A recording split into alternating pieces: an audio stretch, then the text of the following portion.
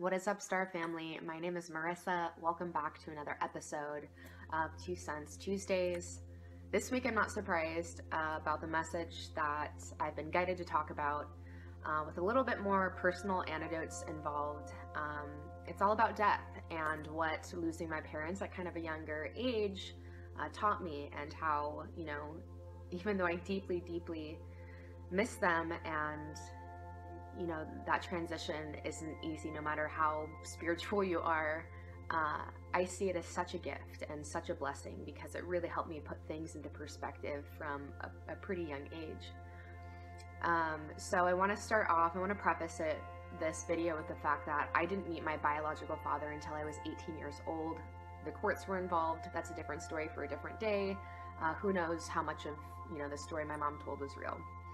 Um, and my mom was adopted also at a young age. She was uh, maybe two months old when she was adopted.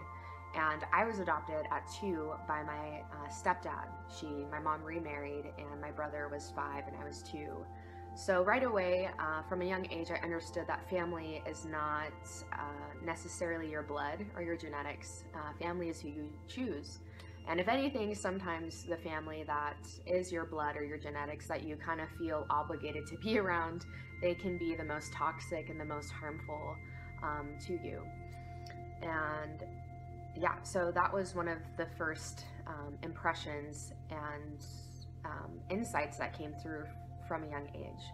Feels relevant to talk about a little bit, not too much just how my parents passed uh, so my mom took her life when I was 18, and my stepdad, um, he passed away in his sleep. He slipped into a diabetic coma.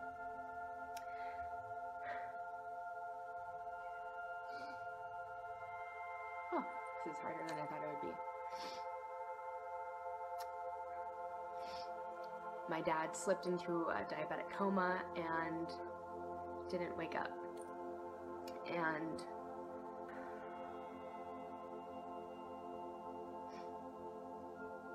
that's one thing about uh, losing people. Sometimes you can talk about it like you're just talking about the weather and it doesn't really it doesn't feel as heavy and sometimes man I swear it's like it just happened yesterday um, and the thing about the way that my parents both left I see it as the same virus.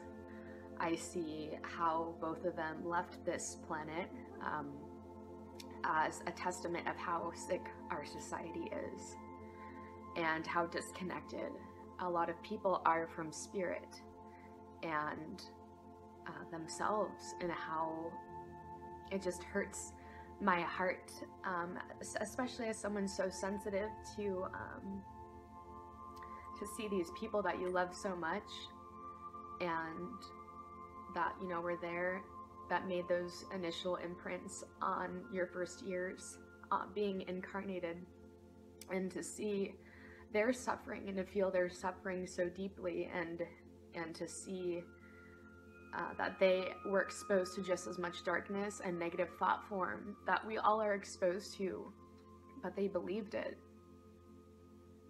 they gave into the darkness. And I think that's what the hardest part of of losing anyone is, especially when it feels very premature. Um, and I know there's a lot of layers to, you know, people making their transitions and um, spirit has revealed to me in a lot of ways the relevance of, you know, my mom growing up with a parent with mental illness and you know everything that that how that catapulted me along my journey. And now the amount of people that I get to affect on a daily basis and all of that there's a lot of layers I get it. It just doesn't make it any easier. And I think it's helped me in a lot of ways just tread tread the planet a lot. Wow. Just a lot lighter. Because you never truly know like when your last interaction with someone's gonna be regardless of how many disagreements you can get into or just how you don't how much you don't see eye to eye or you know this very human stuff that happens to us all the time it pales in, in comparison to the fact that uh, to the to the love that is there even beneath all of the disharmony that can exist within families and just within relationships in general Um, so this also this knowingness led me to record my other video about the power of forgiveness and why I think that's so important. Because uh, to be holding unforgiveness in your heart when someone that you love so much uh, passes, you know, here today, gone tomorrow, that's not the type of heaviness that you want to take with you or that you want to carry for the rest of this incarnation. And in a lot of ways, um, I'm grateful just because it's it's helped me hold my own daughter um, a lot closer. There would be times when she was younger, uh, when she was like first born, and I, I just remember just like standing in my living room sometimes or just lying in bed and just holding her and just uh, really wanting to remember that moment and just be present with that moment because I knew she wasn't going to be that small ever again and I knew I was never going to get these moments back with her. So it definitely um, helped me hold my own child a lot, a lot closer. Um, and the other day when I was first really getting these downloads about the importance of, of, you know, just talking about this kind of stuff and making this video, I couldn't stop crying and it was after I put Maya down and there's been a lot of release around it still. It comes in waves, you know, losing people that you love. And uh, I sat in her room and I just watched her sleep. And for the longest time, butterflies have been my and my mom's form of communication. Um, I have a tattoo of a butterfly for her. She would always say, you know, I'll, I'll love you until the stars turn to butterflies. So that's always been our thing. And especially when she first passed, I would see monarchs all the time. Like that was her way of communicating that she was closer to me than ever before. And I remember lying or sitting next to Maya watching her sleep in bed, and I just had so much love for her and just thought she was so precious and so beautiful and such an angel. And it was like, you know, I can tell when I'm getting impressions from, um, you know, uh, behind the veil or from the other side, whatever you want to call it, from my guides. And um, I felt my mom communicate to me that the way that I was looking at her in that moment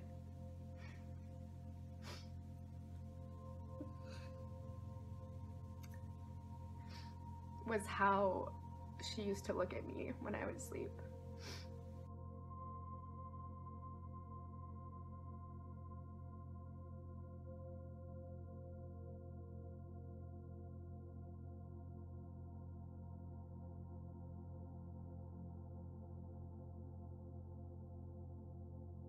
Um, and so that's just another thing, like losing people when you're younger, uh, it, it just, you get these synchronicities, you get these signs that are just so eerie and so non-coincidental. They're just too perfectly planned that it, it forces you to believe and to understand that there really is something else that, you know, death as we know it from this perspective is not the end.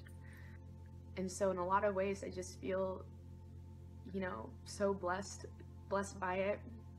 And I don't know who, where I heard this from the first time, but I'll never forget someone saying that, you know, a lot of the times when we feel like our parents from this level um, weren't the parents that we felt like we needed. A lot of the times after they've made their transition, especially if they do it when we're a bit younger, that from that vantage point, once they've reconnected with Source and once they're their own veils of confusion and forgetfulness have been lifted, that they can finally be the parents that that they wanted to be, um, and the parents that we needed but didn't have, and they're just they're still there, even in a more powerful way than they might have been able to be there for us when we were, you know, everyone was still alive. You know, I think in a lot of ways that's why I don't get too tied up in goals or achievements or anything. I don't get too caught up in the rat race because I see that what what is that all worth? What is it all worth to constantly be trying to go after things outside of you when the gold has been right in front of you the whole time. You know, it's these relationships, it's these people, it's this the different variations of love that we can experience, whether it be from lovers, from parents towards kids, like all the variations of love that we can feel, it's right in front of us. And um, I, I don't get too caught up in shit that doesn't matter, honestly, or I try not to. It definitely gets easier um, as time goes on, but in a big way, um, being exposed to death uh, so often growing up um, definitely sets the tone for the rest of this incarnation. It's really helped me understand that my parents or the people that gifted me their genetic coding, uh, they're they're just souls too. That you know there doesn't have to be such a heavy attachment to what we need them to be right i think in our culture in our society we put so much pressure on our parents that weren't there for us they neglected us they didn't treat us well um, and while i definitely feel like um, that's a different story for a different day. Uh, it's also helped me understand that, you know, my mom was a soul as well, and she just had a little bit more darkness in this incarnation. And my, you know, my dad, my stepdad, he was a soul too, and he had his own things to explore and to learn this round. And it helps take the blame away from why we were conditioned in certain ways. You know, that's uh, in my experience, in my opinion, all of that is just part of the contract. It, it sets you up in a certain way, it creates a certain amount of momentum when we go through those pockets of trauma or we have those those childhood experiences that were a little bit heavier um, or a little harder to experience. Um, you know, like Bashar says, it's like the rubber band effect. Um, when you pull a rubber band back into the darkness, the deeper you pull into the darkness, the more sure you can be that when you release the rubber band, the faster and um, the deeper that you fling yourself into the light. And I definitely have felt that everything that's been in adversity growing up was was nothing short of, of grace. You know, overall, this just reminds me that nothing is here to stay.